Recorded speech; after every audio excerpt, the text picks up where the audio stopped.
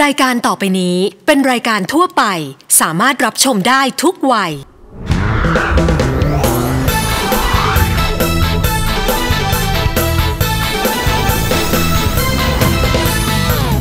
ฟัดสู้ฟัดสู้ฟัดสู้ฟัดลูกทุ่งสู้ฟัดสู้ฟัดสู้ฟัดฟัดสู้ฟัดสู้ฟัดสู้ฟัดลูกทุ่งสู้ฟัดสู้ฟัดสู้ฟัดลูกทุ่งสู้ฟัดฟัดฟัดฟัดฟัด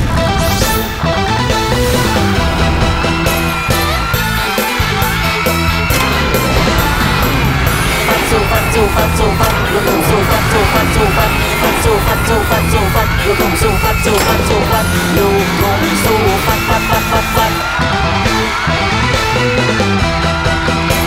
กทุ่งสู้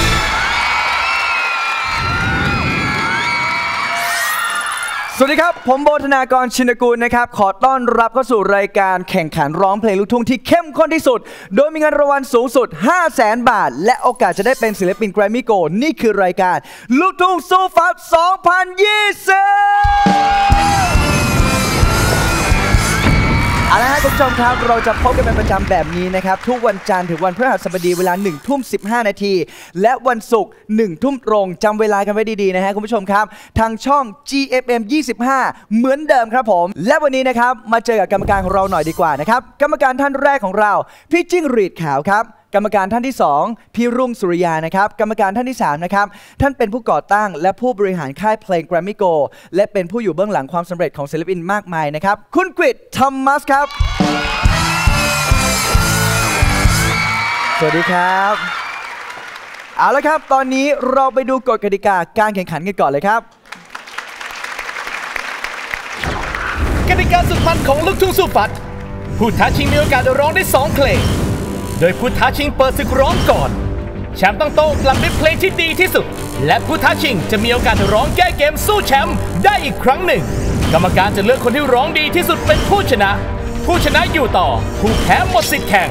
ฝั่งไหนปราบผู้แข่งได้ทั้งหมดเป็นแชมป์เส้นทางของแชมป์เงินรางวัลจะพุ่งขึ้นแบบทวีคูณขั้นละ 20,000 บาท และเพิ่มขึ้นแบบก้าวกระโดด ขั้นที่ 11 250,000 บาท ขั้นที่ 12 300,000 บาท และขั้นที่ 13 รับไปเลยแจ็คพอต500,000บาท พิเศษยิ่งกว่าต้อนรับศักราชใหม่ ลูกทุ่งสู้ฟัดจัดหนักจัดเต็ม เมื่อชนะในด่านที่ 10คว้า200,000บาทเพราะมีซิงเกิลเพลงเป็นของตัวเองทันทีซึ่งในการแข่งขันเรามีขั้นการันตีให้ 3 ขั้นคือ ขั้นที่ 1 20,000 บาท ขั้นที่ 5 1 0 0 0 0 0 บาท ขั้นที่ 9 1 8 0 0 0 0 บาท สิทธิพิเศษสำหรับแชมป์แชมป์จะมีตัวช่วย 3 ตัวคือร้องแก้ตัวล้มกระดานประกันเงินรางวัลถ้าแชมป์ไม่มั่นใจว่าจะชนะคู่แข่งได้ สามารถใช้ตัวช่วยเหล่านี้ได้ทันที ตัวช่วยจะกลับมาอีกครั้งเมื่อผ่านขั้นการันตี เมื่อปราบผู้ท้าชิงแต่ละขั้นได้ และมีคู่หูของแชมป์พ่ายแพ้ สามารถใช้ตัวช่วยตัวไหนก็ได้ แลกเพื่อนกลับมา ใช้ความเป็นคู่หู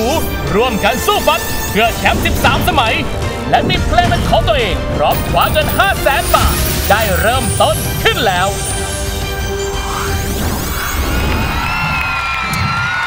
ในยุคที่เศรษฐกิจมันฝืดเคืองแบบนี้นะฮะ สถานการณ์อะไรทั่วโลกมันปั่นป่วนไปหมด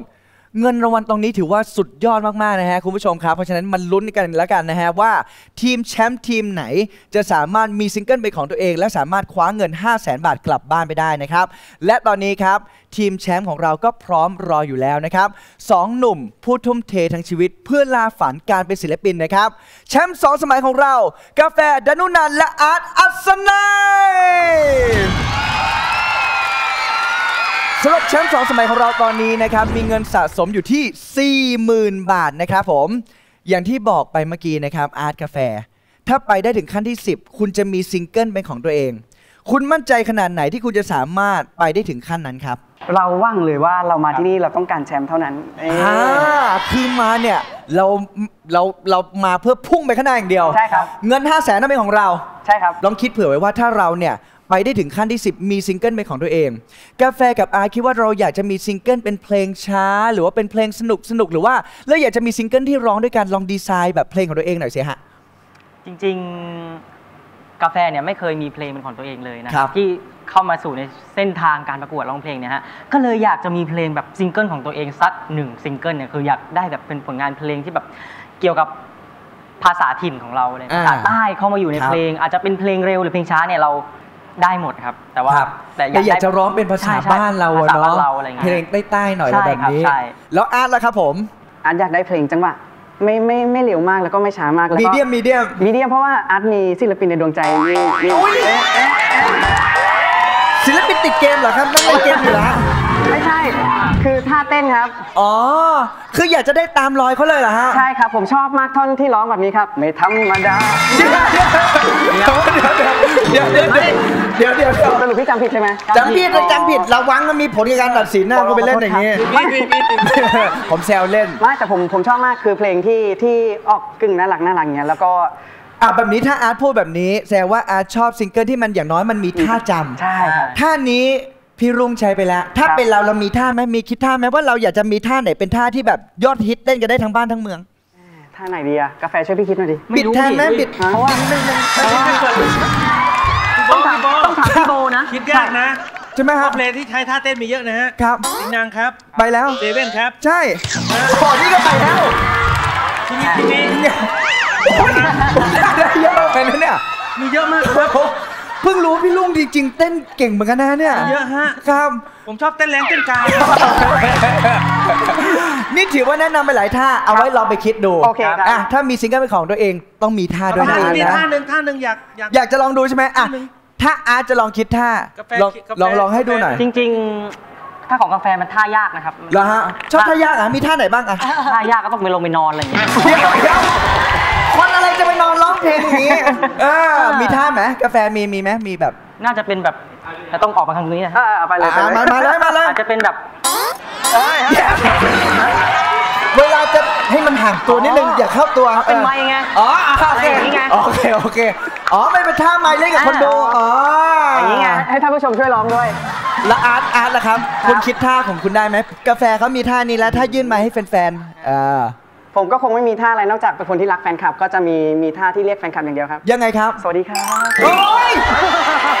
เดี๋ยวเดี๋ยวสิเดี๋ยวเดี๋ยวขอให้เป็นแบบสวัสดีครับอย่างนี้ได้ไหมความเหมือนอ่า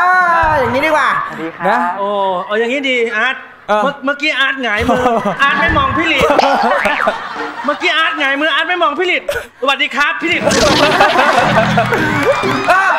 พี่หลีก็นึกว่าจะเรียกให้เข้าไปหาบอกโอ้นั่งบนแท่นท่านี้ท่านี้ลูกอย่างนี้ไม่ได้ต้องอย่าง ฮัทเชยฮัทเชยฮัทเชยโอเคท่านนี้ดี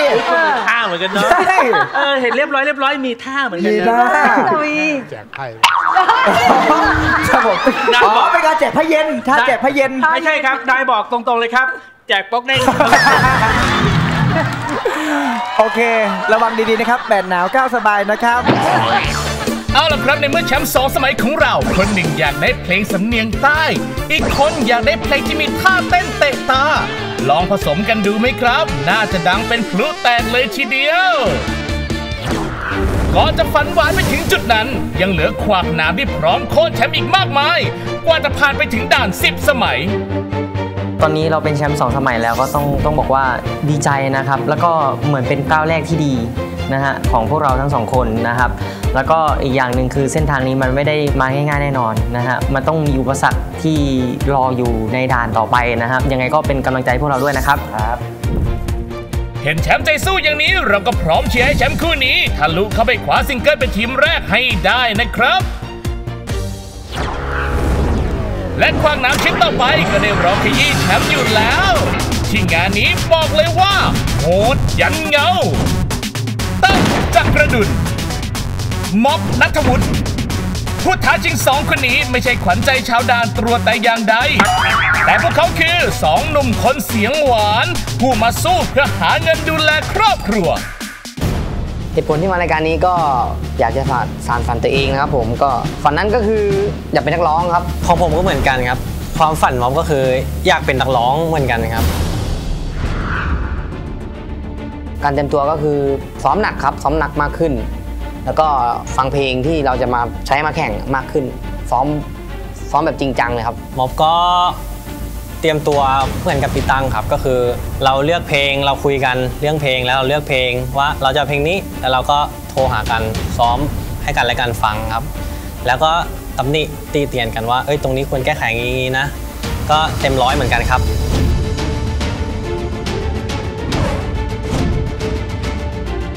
ครับก็ฝากถึงแชมป์นะครับผมก็วันนี้ถ้าแชมป์ไม่ว่านะครับผมที่ตรงนั้นผมขอไปยืนแทนได้ไหมครับ โอกาสโค่นแชมป์เพื่อกระโจนไปคว้าเงิน 5 0 0แสนบาทอยู่ในมือแล้วทำให้เต็มที่นะครับ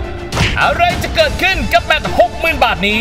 แฟนคลับแชมป์เตรียมตัวเตรียมใจไว้ได้เลย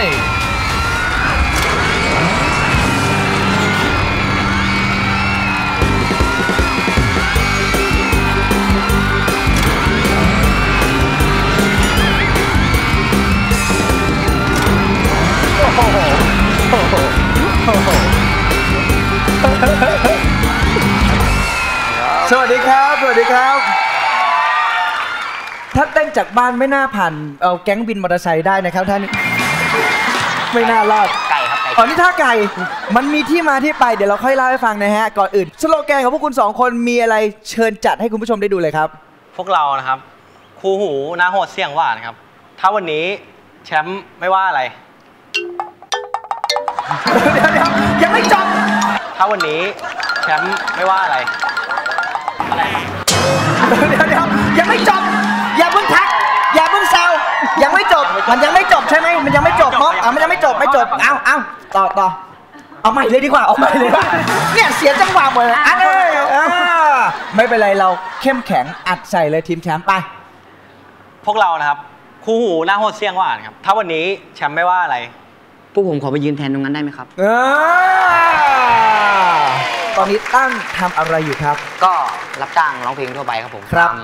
งานเลี้ยงงานแต่งงานอะไรทั่วไปจ้างได้หมดเลยได้หมดทุกงางานนครับผมครับผมแล้วนอกจากร้องเพลงแล้วมีทำอะไรอีกบ้างตั้งร้องเพลงนอกจากร้องเพลงผม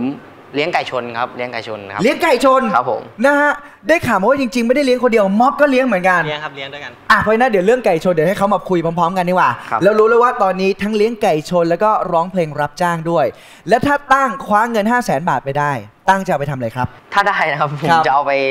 ทำบ้านให้ยายครับครับทำบ้านผม ต่อบ้านให้ยายเพราะยายอยู่คนเดียวครับ มีวาดฝันไว้ไหมครับ ว่ามี บ้านที่เราตั้งใจจะสร้างให้ยายเนี่ย ลักษณะเป็นยังไง ไม่ใหญ่มากครับให้ครับ ตามคนเป็นบ้านชั้นเดียว ครับผมคนให้ตามตามคนแก่อยู่อะไรเงี้ยแบอ๋บอว่าให้อยู่แบบคนเดียวอะไรเงี้ย ครับเพราะผู้สูงอายุจริงๆเดินขึ้นชั้น 2 ก็ไม่ค่อยไหวเนอะใช่ครับถ้าแบบมีบ้านที่มีห้องอยู่ชั้นล่างเนี่ยก็จะใช้ชีวิตได้สะดวกมากขึ้นครับอะอยากมีบ้านให้กับคุณยายครับ นะครับ มาที่ม็อบบ้างม็อบตอนนี้ทำอะไรอยู่ครับ ผมก็รับงานร้องเพลงเหมือนกันครับ ครับผม แล้วก็ธุรกิจเสริมก็คือเลี้ยงไก่ขายเหมือนกันเลี้ยงไก่ขายเหมือนกันนะครับ แล้วถ้าม็อบได้เงิน 5 0 0แสนบาทไปม็อบจะเอาไปทำอะไร ถ้าได้เงินมาผมก็จะเอาไปใช้หนี้ให้แม่ส่วนหนึ่งครับแล้วก็อีกส่วนหนึ่งก็คือจะเอามาต่อเติมซุ้ม ให้ครัมับนดีกว่าเดิมครับให้มันเรียบร้อยได้มาตรฐานมากขึ้น ซุ้มตรงนี้ก็คือซุ้มที่ดูแลไก่พวกนี้ใช่คป่ะรับใช่ครับอ๋อนะฮะห้าแสนบาทคนหนึ่งเอาไปสร้างให้ยายคนหนึ่งเอาไปสร้างให้ไก่นะครับ เราดูเอ้ยฟังดูแปลกๆไปทำธุรกิจของตัวเองเอออย่างนี้ดีกว่า พูดถึงการเลี้ยงไก่แล้วตัวที่แพงที่สุดที่เราเลี้ยงไว้ตอนนี้ แพงที่สุดที่เคยมีคนมาถามซื้อครัก็บคือ ม็อบต้องบอกก่อนว่าม็อบเอาไปชนมาครับ เป็นครับสนามมาตรฐานนี่นะครับ ครับ มีถูกต้องตามกฎหมายอันนี้อย่างที่บอกนะถูกต้องตามกฎหมายนะคุณผู้ชมครับเขามีการก็คือการไปเลี้ยงชนมาเดิมพันข้างละ1นึ่งแสนหนึ่งหมื่นบาท เดิมพันรวมก็คือ เดิมพันรวม2องแสนสองหมื่นบาทครับ โอ้โห แล้วก็ชนชนะมาแล้วก็มีคนถามซื้อคหรับนึ่งแสนสองหมื่นบาท โอ้โหแล้วปล่อยไหมครับ ไม่ได้ขายครับไม่ได้ขาย ทำไมไม่ขายอะเงินแสนอยู่ตรงหน้า ก็คือเราเอาตัวนั้นมาเป็นพ่อพันธุ์ใช่ไหมพี่อ๋ออ่าครับ แล้วก็เราก็หาแม่ไก่ที่ดีๆอะครับอืมมา แล้วก็เราก็ขายลูกเขาแทน ลูกเขาที่คลอดได้หนึ่งเดือนครึ่งอะครับครับเราขายได้ตัวละห้าพันโอ้โห แล้วไก่มันออกลูกทีนะ ใช่ไหมฮะจริง ๆ แล้วใช่อะครับใช่ครับอ่าเพราะฉะนั้นมันก็เป็นเหมือนกับเป็นการวางรากฐานธุรกิจของตัวเองด้วย พี่รุ่งสุริยาเคยมีประสบการณ์ด้านการเลี้ยงไก่ชนหรือว่าเคยไปดูเขาแข่งกันไหมฮะพี่ลุง เดี๋ยวจะบอกว่านี่ตัวยงเลยนะคะตัวยงเลยเหรอฮะชอบไก่มากล่ะมากมากๆเพราะเรื่องนี้ต้องถามเขานะว่าเรื่องไก่ใช่ปกติที่บ้านมีไก่อยู่กี่ตัวฮะ มีตัวเดียวโคตรดุเลยอะอันนี้เป็นไก่พม่าหรือว่าไก่สายพันธุ์ไทยอะฮะ ไก่สุรินทร์เอ้ยไก่สุรินทร์นี่ดีไหมส่วนใหญ่ไก่สุรินทร์ดีไหม เพราะว่ามันจะดุพิเศษนะคอ๋รัอบ เหรอฮะเห็นบอกว่าไม่ได้ดูอย่างเดียว หนังมันจะเหนียวด้วยนะฮะเดี๋ยวเดี๋ยวยังอยู่เนี่ยช่วยตัดตรงนี้ออกไปด้วยนะโหมีผลกับสองบ้านเลยนะฮะเอ้ยขอโทษทีด้วย โอเคงั้นงั้นเราข้ามตรงนี้ไปเลยแล้วกันเราข้ามตรงนี้ไปเลยแล้วกัน โอเค เราได้พูดคุยกันมาแล้ว ผมสังเกตนะ สำเนียงของคุณน่ะ มันไม่ได้สำเนียงสุพรรณน่ะมอบบ้านแม่มอบอยู่การ เอาที่ที่อยู่การใช่ครับเอาการที่บ้านเดียวกับคุณอาร์ตเลย อยู่ตรงไหน อยู่ห้วยกระเจ้าห้วยซิ่วกระมาเจ้าบ่อยอะโอ้แน่นอนครับอยู่บ่อพลอยครับเจอกันเพราะว่าอำเภอบ่บ่ออยพลอยมีพลอยเม็ดใหญ่ถ้าหากว่าคุณสงสัยจะพาไปดูครับโอ้โหมาเป็นชุดเลย เอาละครับ ตอนนี้สิ่งที่คุณต้องพยายามให้ได้มากที่สุดก็คือโค่นทีมแชมป์ทีมนี้ให้ได้ก่อนเลยนะครับ ใครจะลงสังเวียนก่อนดี ตั้งหรือม็อบครับเอาก่อนก่อนครับผมม็อบมีโอกาสร้อง 2 เพลงนะครับ ซึ่งยังไม่รู้ว่าทีมแชมป์จะส่งใครมาเจอกับคุณนะครับม็อบจะเลือกเพลงอะไรเป็นเพลงแรกครับ ลองใต้ครับเอาละครับผู้ท้าชิงหนุ่มเมืองการคว้าอาวุธทางหวาน หวังสังหารแชมป์และก็ดูจะมีแนวโน้มไปในทางที่ดีซะด้วย ชอบลูกขยักมากฮะหมุนได้สวยมากเลยแชมป์จะเปิดศึกดาร์บี้แมตช์เมืองการ หรือจะใช้บริการหนุ่มใต้เข้าปราบ ช่วงหน้ามาช่วยแชมป์ตัดสินใจกันหน่อยนะครับ ห้ามพลาด ลูกรุ่งสู่ฝัน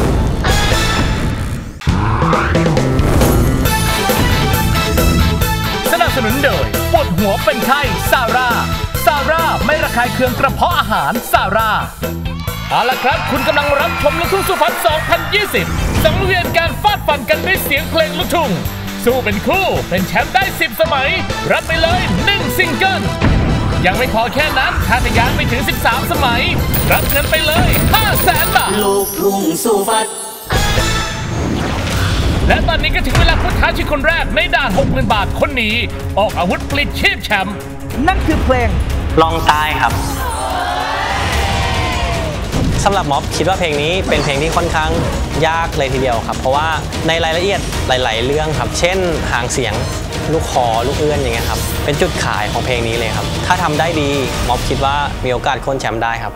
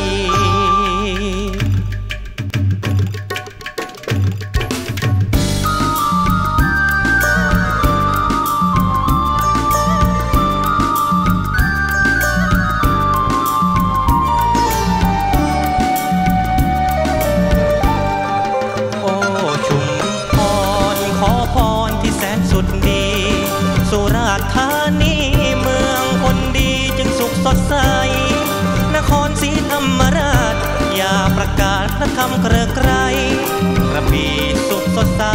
ฝากหัวใจให้พี่ไม้ปอง โอ้พังงาคัดอุราให้พี่งงงันภูเก็ตเกาะสวรรค์วิลาวันหนึ่งไม่มีสองระนองน้องจ๋าเหมือนน้ำตาของพี่ตกนองเพราะต้องจากน้องจากระนองมาทั้งนั้น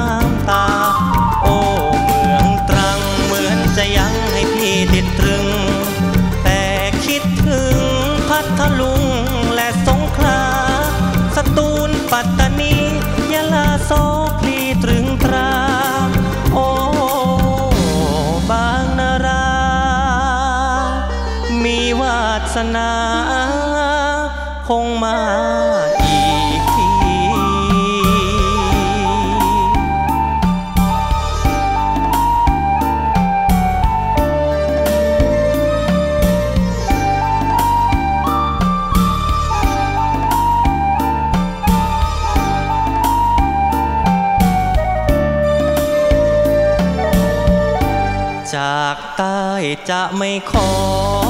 เลือนเสน่ห์ติดเตือนชั่วเดือนและปี มนต์รักปักใต้ใจมันผูกพันเสมอชีวีตราบชั่วชีพนี้ จะไม่ลืม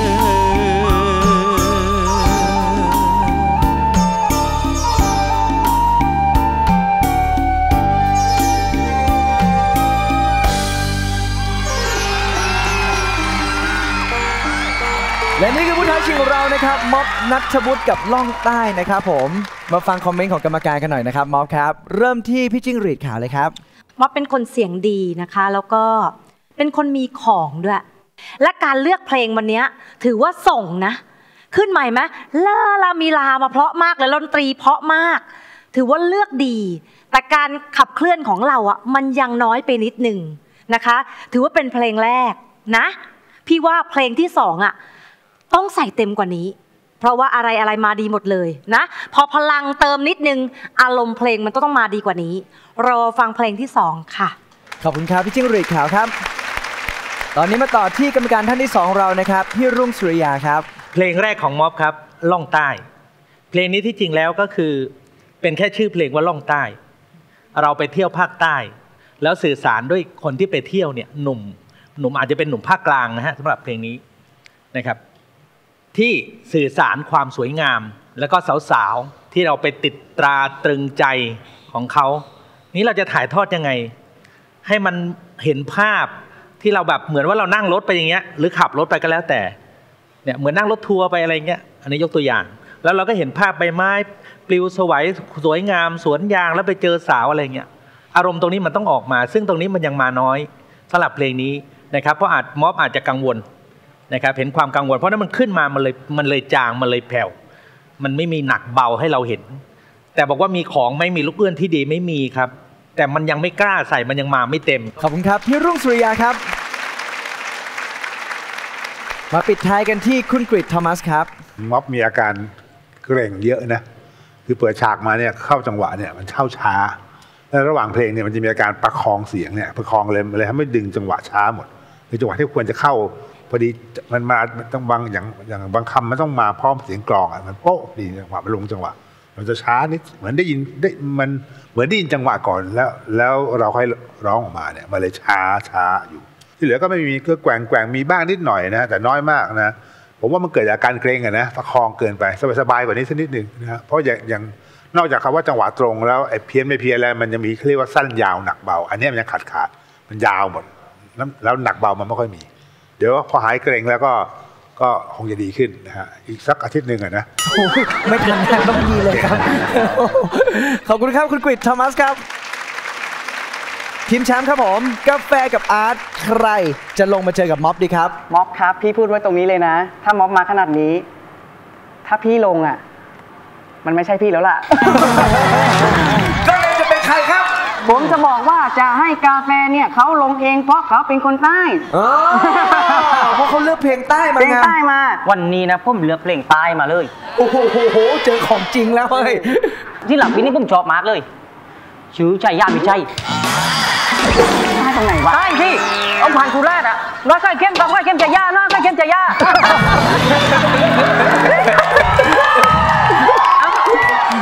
ไม่ใช่เหรอไข่เหรอไข่ไข่เหรอไข่เค็มจะยาไก่เค็มชายาอ๋อโอเค ที่เค็มเนี่ยอันบนหรืออันล่างหมายถึงว่าในถุงข้างล่างหรือว่าที่แบกอยู่ตรงนี้ น่าจะเค็มหมดเลยฮะอ๋อโอเคโอเคอะพี่กาแฟใช่ไหมขอเชิญกาแฟเลยครับผมมาม็อบด้านนี้เลยครับกาแฟจะเลือกเพลงอะไรเพื่อมาเจอกับม็อบครับ นักร้องคนจนครับ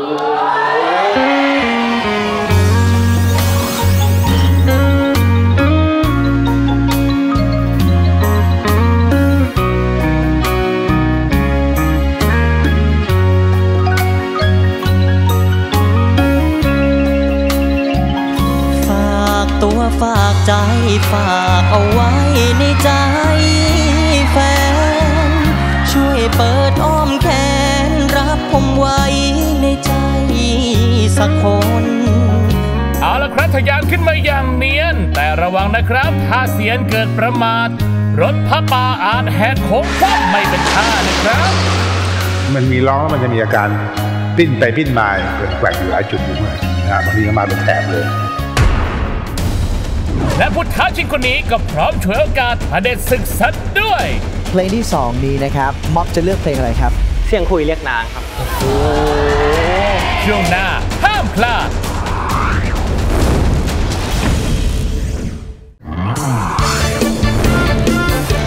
สนับสนุนโดยทิฟฟี่บรรเทาหวัดปวดศีรษะเป็นไข้ทิฟฟี่แผงสีเขียวทิฟฟี่ผลิตภัณฑ์เสริมอาหารวิตามินชนิดเม็ดฟูตราซันไลฟ์ ลูกทุ่งสู้ฟัด 2020 เวทีกำลังเริ่มเดือดได้ที่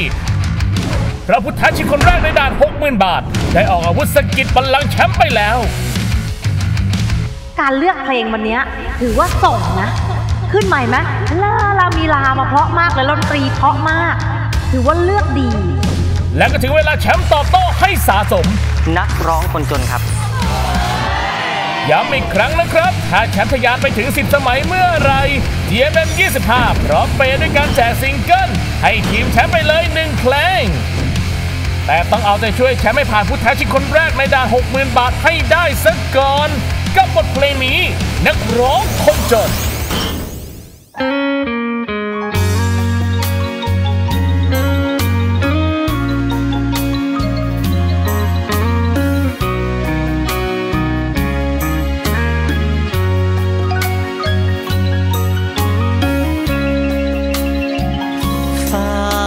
ฝากใจ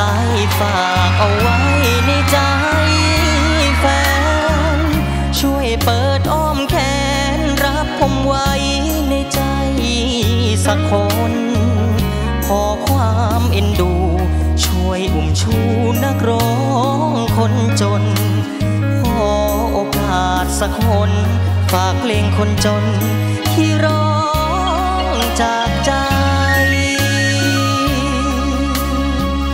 ทำมากิน แต่ก่อนขับวินส่งผู้โดยสาร แต่ใจมุ่งฝัน ว่าสักวันจะทำให้ได้ แม้ว่าเส้นทาง ไม่ได้โรยด้วยกลีบดอกไม้แต่ไม่เคยทอดใจ เหนื่อยเพียงกายแต่ใจไม่ลา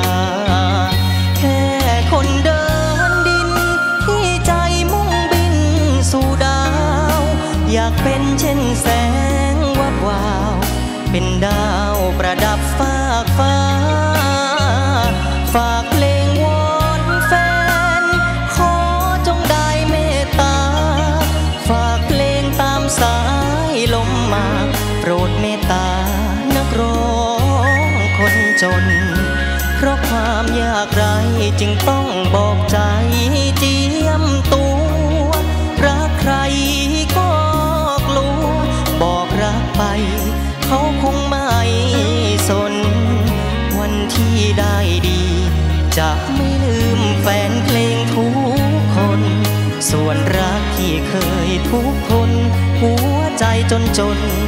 คงกล้าบอกรัก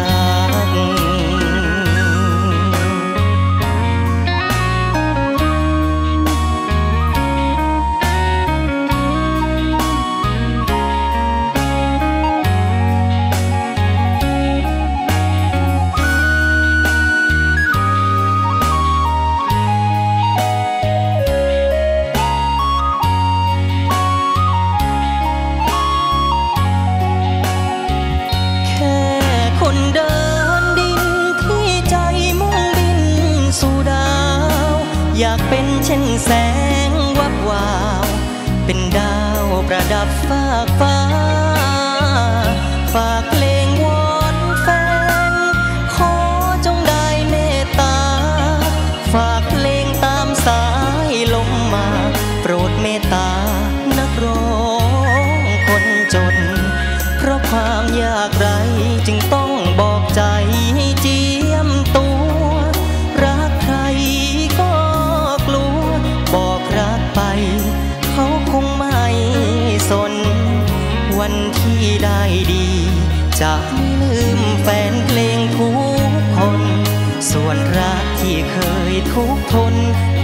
ใจจนจนๆคงกล้า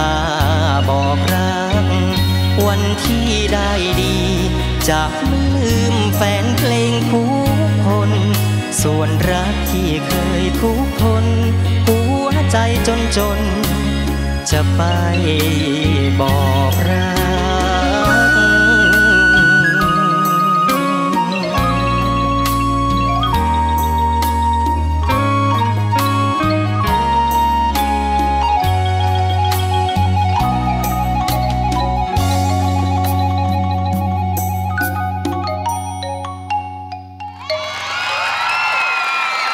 นักร้องคนจนกาแฟครับ เป็นยังไงบ้างกับเพลงเพลงนี้เดี๋ยวมาฟังคอมเมนต์จากกรรมการกันดูหน่อยนะครับ พี่จิงหรีดขาวเชิญเลยครับ เพลงนี้ถือว่าเลือกดีนะ เพราะว่าคีย์ดนตรีไม่ได้สูงมากจนเกินไปทำให้กาแฟร้องแบบสบายๆนะคะ ลูกโชว์ของเพลงเนี้ยถามว่ามันมีเยอะไหม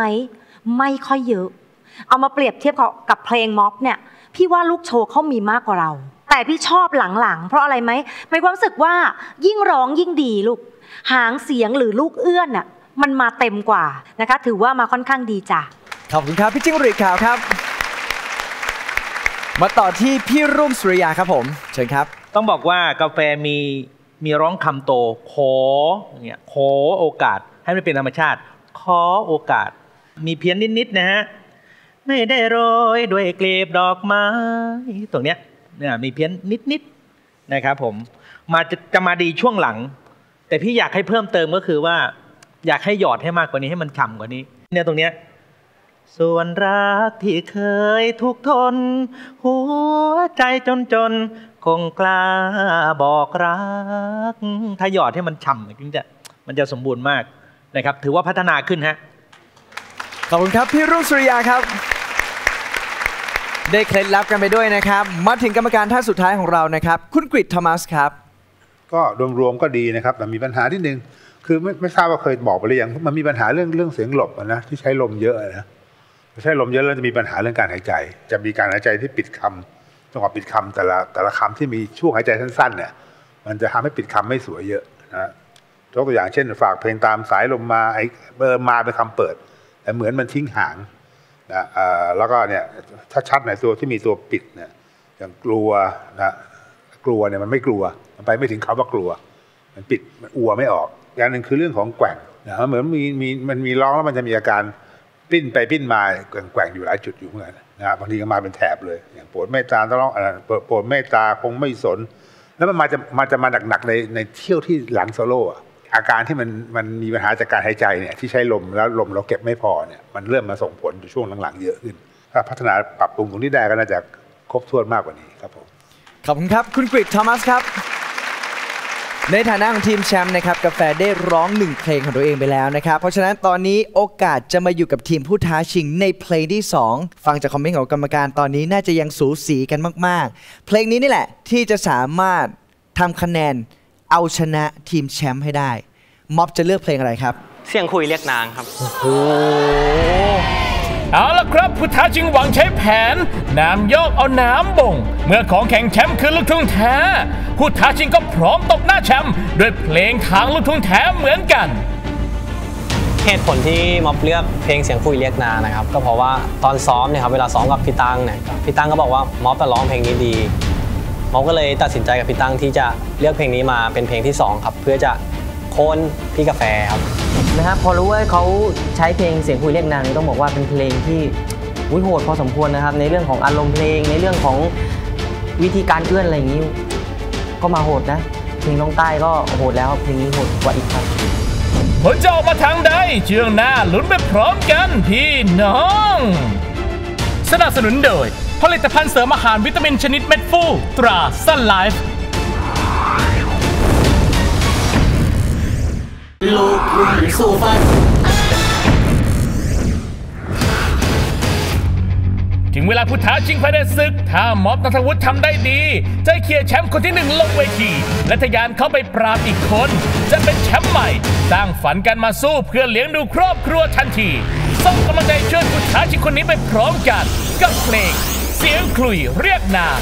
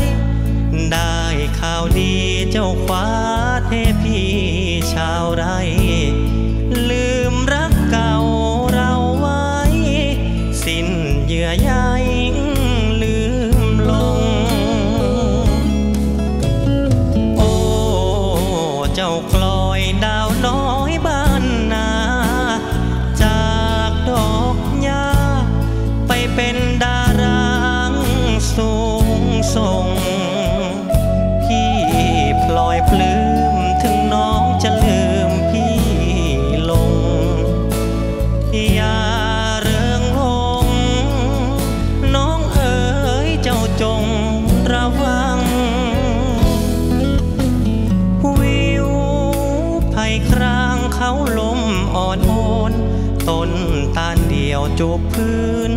ยืนตน ดังคนสูญสิ้นความหวังกลุยบรรเลงเจ้ารับฟังเพลงพี่บาง กลอยเอ๋ยอย่าลาร้าง หนุ่มเดิมบาง สุพรรณล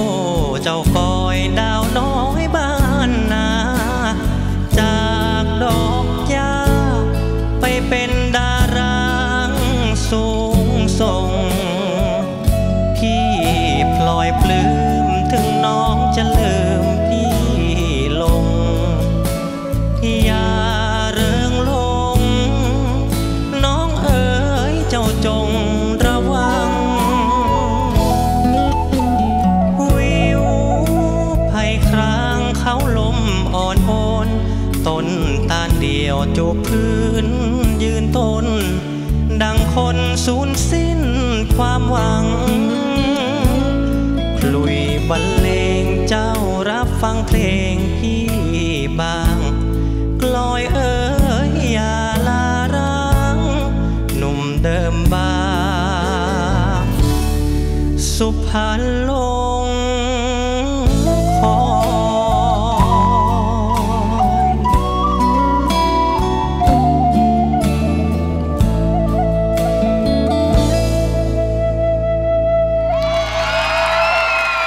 และนี่นะครับม็อบนัทวุฒินะครับกับเสียงขลุ่ยเรียกนานนั่นเองพี่จิ้งหรีดขาวเป็นยังไงบ้างกับเพลงที่สองนี้ครับ การร้องวันนี้มันเหมือนว่าเรายังมีอาการออมเสียง เสียงไม่พุ่งอะลูกยิ่งใกล้ ๆ จบเนี่ย ท่อนสุดท้ายเลยอะมันเหมือนเสียงเราเบาลง เบาลง เหมือนเหมือนเหมือนเซฟเสียงอะแต่ร้องดีนะ ดีแต่ว่ามันมีเสียงทองแลบออกมา รู้สึกไหมพี่รู้สึกว่าหนูมีเสียงทองแลบออกมานะคะ เจ้ารับฟังเพลงพี่บ้างคำว่าพี่ นิดนิดนิดนิดแล้วพอหลังโซโล่มาก็คำว่าโอ้เจ้ากอย เราจะเล่นนั่นแหละ มันเหมือนเราคุมไม่อยู่ ต้องระวังนิดนึง เป็นกำลังใจให้ค่ะ ขอบคุณครับ พี่จิ้งหรีดขาวครับ ตอนนี้ต้องขอเชิญนะครับ พี่รุ่งสุริยาครับผม กับเพลงนี้เพลงที่สองนะครับเพลงแรกคือล่องใต้ประสบการณ์โอเคนะครับฟังคอมเมนต์ไปแล้ว ก็ปรับอารมณ์ดีขึ้นมา ที่บอกว่าดีขึ้นมานั้น เพราะว่าเสียงขลุ่ยเรียกนางมันเป็นเพลงที่ว่าอาจจะครวญหาสาวนะครับข้ามครวญหาสาว แต่ไม่ถึงขนาดว่ารันทดมากนะครับแต่ว่ามอปะอารมณ์คือบางทีหน้าตาเนี่ยก็คือที่บอกว่ามันอารมณ์มันดีขึ้นเพราะว่ามันเข้ากับเพลง แต่จริงๆหน้าตาก็ยังแบบเหมือนว่าแบบ หมดอะไรตายอยากอะประมาณนี้ครับผมแต่เสียงดีไหมพี่ชอบลูกหมุน ชอบลูกเอื้อน ชอบลูกขยักมากฮะบางเชื่อมบางคำเนี่ย ดังคนสูญสิ้นเนี่ยตรงเนี้ยหมุนได้สวยมากเลย แต่ก็ยังไม่รู้นะนะฮะเพราะเสียงใกล้เคียงกันนะครับขอบคุณครับพี่รุ่งสุริยาครับแล้วมาปิดท้ายกันที่คุณกริดทอมัสครับทั้งสองคนน่ะอ่ามีการใช้เทคนิคแบบเดียวกัน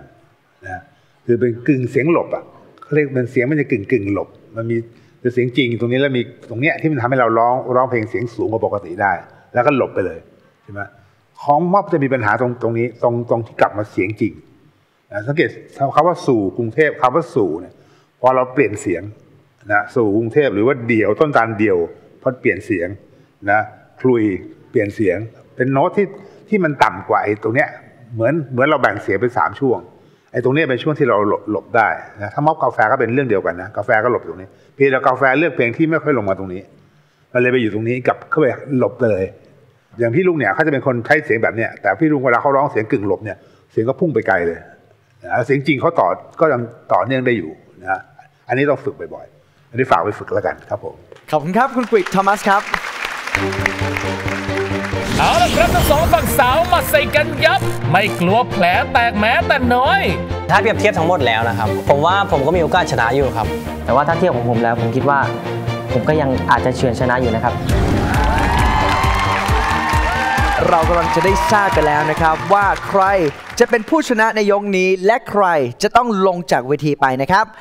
แต่ก่อนอื่นเราต้องถามกาแฟในฐานะทีมแชมป์ก่อนนะครับ ตอนนี้นะฮะเขามีตัวช่วยเหลืออยู่ 2 ตัวช่วย 1 คือล้มกระดานและ 2 คือประกันเงินรางวัล มันเป็นสิทธิ์ของทีมคุณครับ คุณจะใช้ก็ได้ หรือไม่ใช้ก็ได้ วิเคราะห์สถานการณ์ดีๆนะครับ กาแฟจะตัดสินใจใช้ตัวช่วย หรือไม่ใช้ดีครับ ปรึกษากับอาร์ตได้เลยเชิญครับ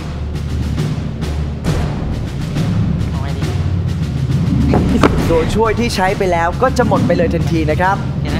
อย่าลืมว่าตอนนี้ทีมแชมป์ของเราเหลือเพียงแค่ 2 ตัวช่วยเท่านั้น ปรึกษากับเพื่อนแล้ว กาแฟตัดสินใจจะใช้ตัวช่วย หรือไม่ใช้ครับ ไม่ใช้ครับ ไม่ใช้นะครับ เอาละครับถ้าแชมป์มั่นอกมั่นใจที่จะไม่ใช้ตัวช่วย ก็ไปฟังผลการตัดสินพร้อมๆกันได้เลย ย้ำอีกครั้งครับ ถ้าออกผู้ท้าชิง เขาจะเขี่ยกาแฟลงเวที และทะยานไปปราบอาร์ตอีกคน จะเป็นแชมป์ใหม่ทันที ถ้าออกที่กาแฟเขาจะเตะตัดขาม็อบให้ลงเวที และขยับไปปราบตั้งจากกระดุนอีกคนแชมป์สมัยที่ 3 จะตกเป็นของพวกเขาทันทีศึกนี้จะออกที่ใคร ไปฟังผลพร้อมกัน และเป็นจิงหรีดขาวนะครับมอบคะแนนนี้ให้กับ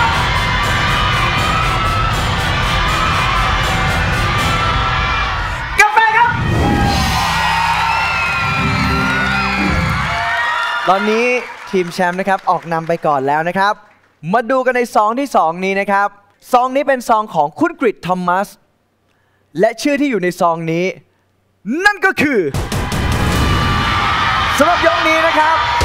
ผู้ท้าชิงวอลมอสเลือกมาสองเพลงคือเสียงกลุ่ยเรียกนางและล่องใต้ในขณะที่แชมป์ของเรากาแฟนะครับเลือกการร้องเพลงเดียวและเลือกเพลงนักร้องคนจนผลงานของใคร จะถูกใจกรรมการมากที่สุดครับ และวิกฤตทอมัสครับ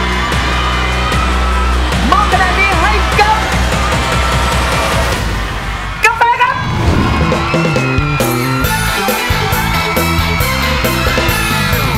ฟัดสู้ฟัดสู้ฟัดสู้ฟัดลูกทุ่งสู้ฟัดสู้ฟัดสู้ฟัดลูกทุ่งสู้ฟัดฟัดฟัดฟัดฟัดลูกทุ่งสู้ฟัด และผู้ชนะในยกแรกนี้นะครับ ได้แก่ทีมแชมป์ของเรา กาแฟดนุนนันครับ เอาละครับ เรามาดูซองของพี่รุ่งสุริยา เป็นชื่อของกาแฟเช่นเดียวกันครับ ต้องรบกวนนะฮะ กรรมการของเราคุณกฤษโทมัสนะครับ พูดถึงการแข่งขันในยกนี้หน่อยครับ อย่างที่บอกว่าสองคนนี้ใช้เทคนิคใกล้เคียงกันมากนะฮะวิธีการร้องการเลือกเพลงก็ออกมาในโทนเดียวกัน แต่ที่บอกว่ามันอยู่ที่ชั่วโมงบินนะกาแฟอาจจะมีชั่วโมงบินสูงกว่ามีความชินกว่า ถึงแม้ว่าจะมีจุดพลาดพอสมควรนะได้พลาดในเรื่องเดียวกันนั่นแหละคือไอ้ความแกว่งนิดนิดหน่อยๆเนี่ยซึ่งซึ่งเกิดก็บอกว่ามันก็มีโอกาสแกว่งมากแกว่งน้อยเนี่ยนะแต่ว่าถ้าแกว่งมากๆมันก็เสียคะแนนไปพอสมควรนะฝากไว้แล้วกันครับ ขอบคุณครับ คุณกริดโทมัสครับ ยกแรกนี้ทีมแชมป์สามารถเอาชนะไปได้ก่อนนะครับทำให้ผู้ท้าชิงคนแรกของเราวันนี้ น้องม็อบนัทวุฒิ ต้องลงจากเวทีไปครับ ขอเชิญม็อบครับ แชมป์ปราบไปได้แล้วหนึ่งคนแต่อย่าชะล่าใจนะครับ เตือนไว้ก่อนเพราะผู้ท้าชิงคนอาวุธหนักพร้อมถล่มแชมป์ตั้งจะเลือกเพลงอะไรครับ หวังครับ คนแบกรักครับ โอ้โหคนเรานี่อย่ามองแค่ รูปลักษณ์ภายนอก เห็นมีหนวดหน้าดูอาจจะดุนะครับ ร้องเพลงห่วงแล้วเหมือนโกนหนวดออกเลยฮะโอ้โหใส่กิ้งเลยอะฮะ หวานขึ้นมาเชียว เสียงมีขอบมีคมนะครับ เสียงใส เก็บรายละเอียดได้ดีแชมป์ครับ น่ากลัวครับคนนี้ กาแฟที่ว่าขมจะกลายเป็นนมจืดหรือไม่ ขนาดพี่ลุงต้องเตือนผมเลยนะครับ ว่าคนนี้น่ากลัวนะฮะ ผมประมาทไม่ได้แล้วนะครับ ตอนนี้แมตช์หน้า มาส่งกำลังใจเชียร์แชมป์ไปด้วยกัน ในลูกทุ่งสุฟัส2020